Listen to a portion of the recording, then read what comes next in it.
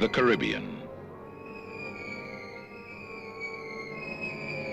A vacationer's paradise was once a stronghold for outcasts, thieves, and murderers. A savage race that vanished hundreds of years ago. But what if there were survivors?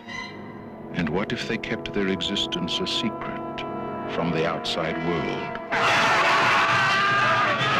What if someone found out? The island, where civilization as we know it has taken a bizarre turn. Who are you?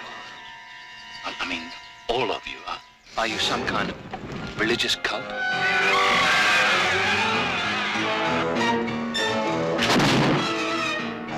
If I'd wanted to hit you, I could have hit you. How dare you speak to your father like that? You're not my father. Fire!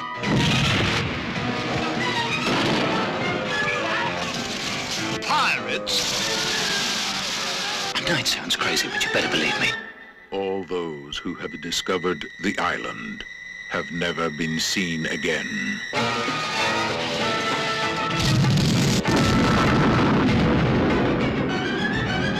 The Island.